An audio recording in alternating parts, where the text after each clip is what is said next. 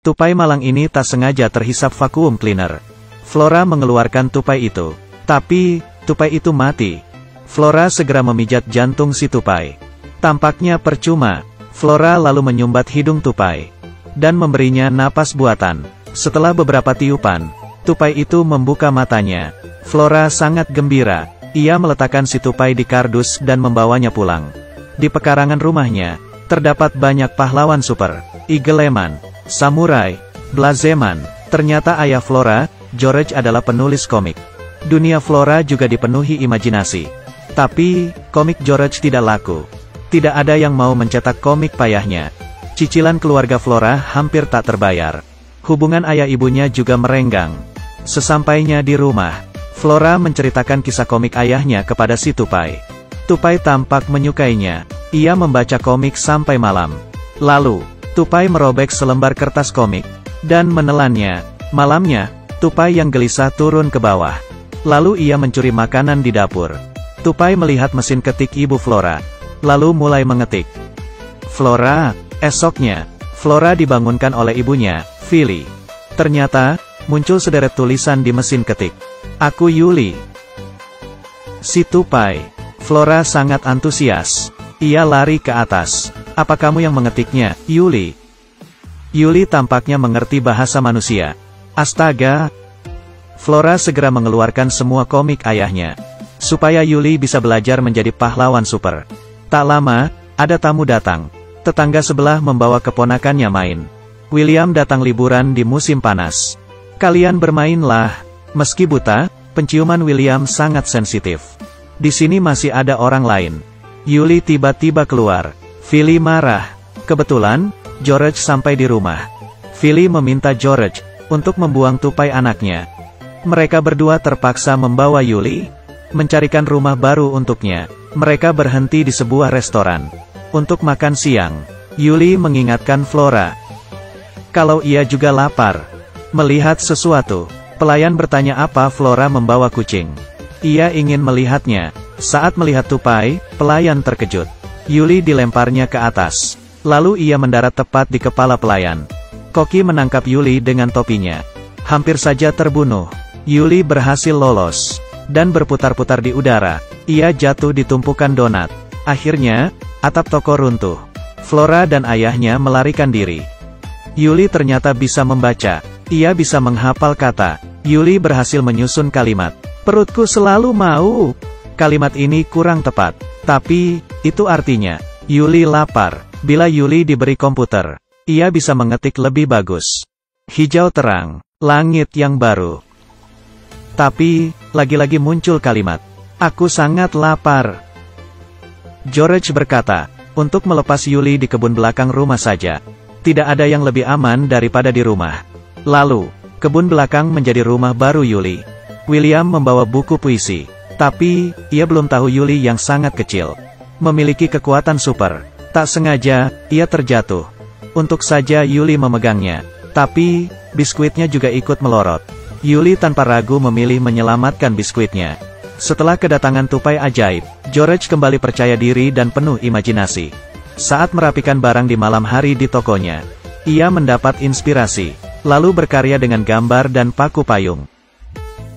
Pengawasnya marah. George hampir didenda. Tapi, dua hari kemudian, bos mereka datang ke toko. Karena gambar ini viral di internet, toko menjadi sangat ramai.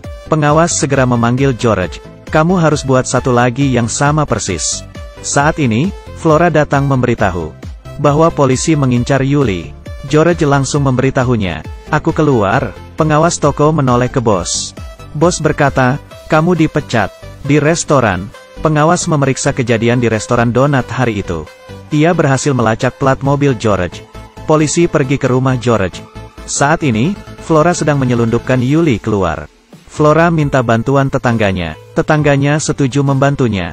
George dan William tidak pandai berbohong. Mereka mengaku telah memasak Yuli. Polisi sama sekali tidak percaya. Kucing tetangga mereka yang galak keluar.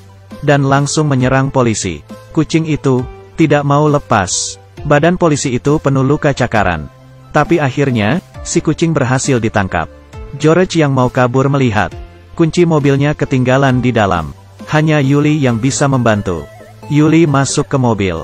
Setelah membuka pintunya, polisi muncul lagi. Ia membawa pistol bius. Dan mengenai tangan George. George buru-buru menyetir. Tapi, saat tancap gas, pintu mobil mereka patah. Aku lupa tutup pintu. Polisi mengejar mereka. Tapi, tangan kanan George lemas seperti kain. Sama sekali tak bertenaga. Ia ingin Flora membantunya. Tapi, Flora tidak bisa menyetir. Flora bertanya ke William. William berkata, aku buta. Flora menjejalkan tangan ayahnya ke lubang setir. George mengatur gigi dengan tangan kiri. Tapi, tangan kanannya tersangkut di roda setir. Mobil mulai oleng. Karena kini kakinya juga lemas. Di depan tampak sebuah truk besar. Untung saja, Yuli lompat dan membantu. Mereka lolos dari kecelakaan.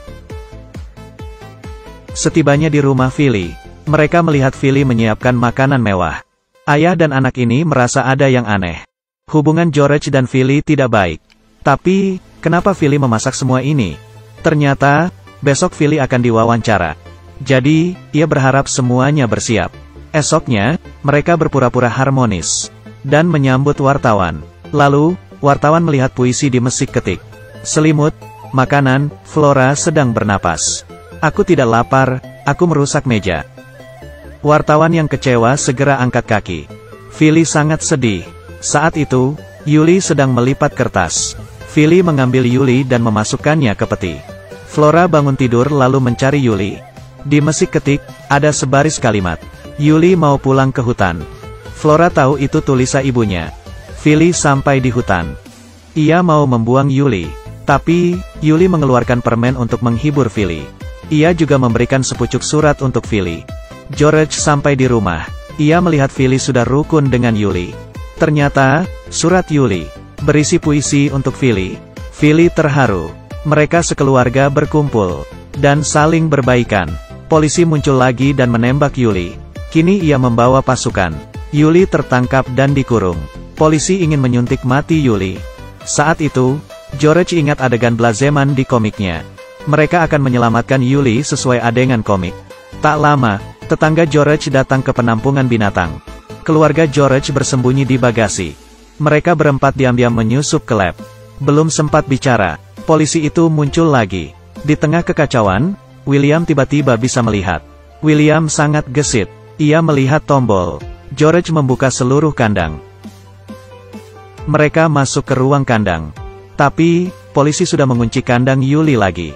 Flora melempar segenggam permen. Seluruh tupai di sana melompat ke badannya. Keluarga George kabur. Polisi ingin mengejar. Tapi, kucing ganas itu melihatnya. Polisi takut setengah mati. Kucing itu mulai mencakarnya lagi. Tapi, George tertembak bius lagi sehingga larinya lambat. Polisi menembak lagi. George terhuyung-huyung nyaris terpeleset. Saat itu, Yuli beraksi. Ia lompat ke atas. Dan menarik George. Mereka sekeluarga berhasil kabur. Setelah kejadian itu, komik tupai super mereka terbit. Mereka memiliki banyak fans sekarang. Film selesai.